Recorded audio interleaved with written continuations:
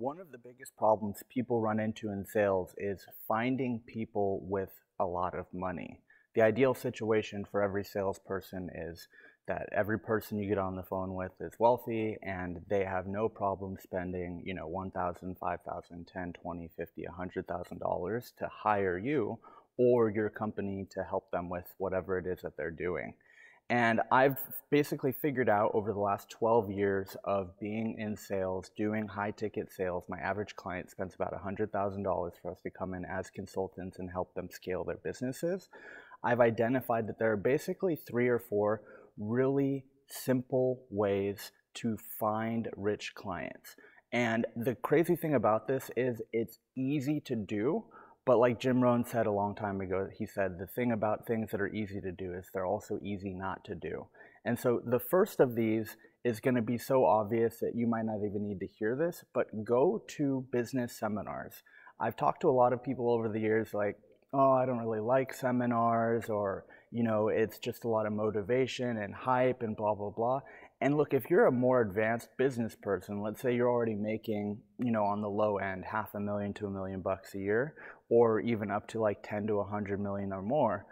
One of the things that you'll find is that there are a lot of really wealthy business people that spend a big chunk of their time just going to seminars, going to networking events, going to masterminds, um, joining different kinds of business related events to be able to scale their business.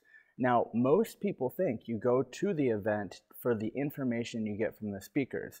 And while it's true that you can get motivated, you can hear some inspiring stories, and sometimes you'll actually get really practical advice on what to do, a lot of the value in going to in person events is not actually going to come from what you hear from the speakers on stage. It's actually going to come from you networking with people and meeting them. I'm going to give you a quick tip, and this is super obvious as well, but people who buy the VIP tickets and like the special like upfront or backstage tickets are almost always going to be wealthier than the people who buy whatever the cheapest ticket is. And also, wealthy people tend to want to have some kind of special status. So, some of the little tips that I can give you about figuring out if somebody's wealthy. And by the way, this isn't true 100% of the time. This is probably only true about 25 to 50% of the time wealthier people will have nicer shoes. They'll also have potentially a nice watch, or they'll be dressed in a very nice suit. And I would encourage you, if your goal is to sell to high net worth individuals and also to sell a high ticket product, I'd encourage you to go to an event and look at people and identify like really start like looking like okay i noticed that like all the people sitting up front not all of them are dressed ultra nice. They're not all wearing fancy suits, but I've noticed like they've got really nice shoes or they have a nice watch or maybe they have expensive glasses like they've got Gucci or Louis Vuitton glasses. Or maybe, you know, it's just the overall like aura of the people because you'll notice that people who are wealthier tend to have um, just an air of confidence about them. They kind of feel confident. They expect that things are going to go well. So they stand up straight, they've got their shoulders back, and ultimately they've got a different vibe about them. And the good thing, by the way, is if you are just starting out, like you're not really making that much money, sometimes people are scared. They're like, well, you know, what am I going to say? Like, how do I really provide value? And, and to be fair, if you're brand new, your value is not going to be something that you can provide other than being an interesting person for them to talk to. And so, just one more kind of side note on this first point a good thing to do is ask intelligent questions. So let's say you talk to somebody, they're wearing a really nice, let's say it's like a $10,000 suit, they've got a Rolex on, you can tell they like take really good care of themselves. They believe that, you know, they should be showing what kind of person they are by showing how wealthy they are and you're like, I want this person to, you know, I want them to give me a chance to work with them. One of the things you can do is if you're newer, rather than trying to tell people what you can do for them, and, and also don't ask, what kind of value can I provide to you? People aren't thinking about you, they're thinking about themselves. So they're not going to be able to figure out for you what you should provide.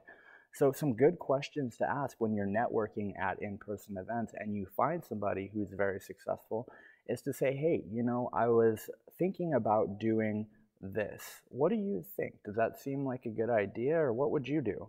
So, people love, especially when they've had a level of success, they love to give advice. They love to feel like they're smart, they're an authority, they're the person to tell you. So ask their opinion a lot. Hey, you know, I'm running this uh, consulting business. We're helping companies to like really scale their sales. I'm curious, like if I wanted to pitch somebody like that does what you do, like what would be important things to say or like how do you feel like I could like work with really smart guys like like people like you that are doing X, Y, and Z? And if you notice my language is all about them. It's like what would you say? How would you say it? Like and I also slide a little compliment in there. And now, if you're talking to somebody who seems kind of stupid, they're a total clod, like, don't lie, don't make up compliments, but like, ask intelligent questions, show, um, you know, basically deference, show that like you identify them as authority and you believe they can help you. But what you're actually doing is you're getting them to tell you what you need to say to be able to sell them. So when you identify those people, if you're just starting out, it's super important. Make sure that you're not trying to be an authority. Don't ask dumb questions like, "What can I do to provide value for you?" Um, and and really like ask questions about stuff. Also, you can ask like, "Hey, you know, I was reading this book. They were saying that you should do this to like build a great business. What do you think? Is that right, or what have what have you done?" And, and notice all of my questions are very open ended. It's not like a yes or no, it's like, can you tell me a lot of stuff? So, point number one go to seminars, go to networking events. Um, you know, I work with a guy named Tai Lopez. He does these big house parties where he invites all these badass entrepreneurs. So like go to events like that where you're able to like network and really hang out and get to meet people. Now the second point is um, you need to find people who are ultra connectors. And so my definition of an ultra connector is somebody that like literally you know those old Italian gangster movies and like somebody's like, "Hey, I need you to take care of this thing for me." And the guy's like, "Oh, I got a guy." Like an ultra connector, I have a friend named Ovi. He's an ultra connector. He's like anytime I'm like, "Hey, I was thinking of this." He's like, "Oh, dude, let me tell you, like talk to this person." He always has a connection but the other thing is, ultra connectors are always doing stuff. It's like five to seven days a week, they're going to a dinner with somebody. They're taking someone out to lunch. They're doing some kind of seminar. They're going to some kind of mixer. They're going to some kind of party.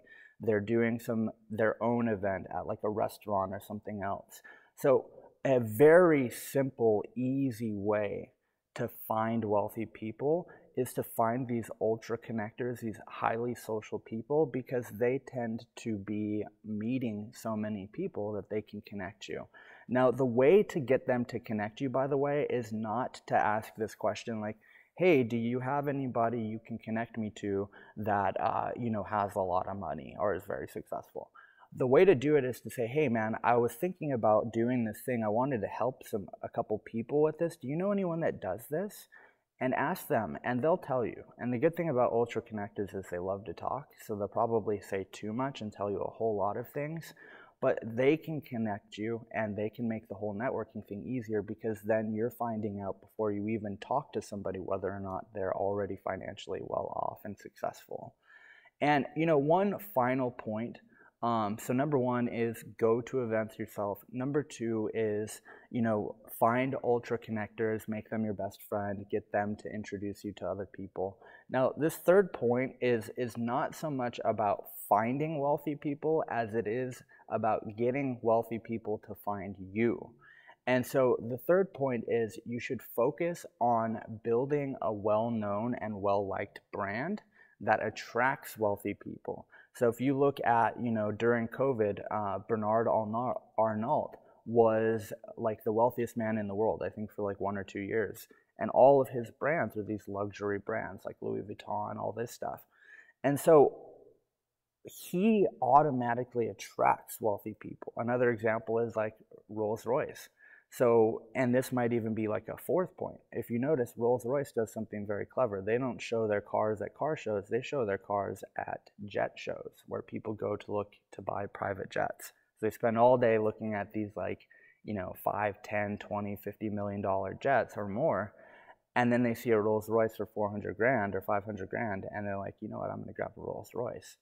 So, an interesting point on this last part about building a brand is there's only so many hours in the day that you can get work done. And also, the other limitation is you only actually have so much energy.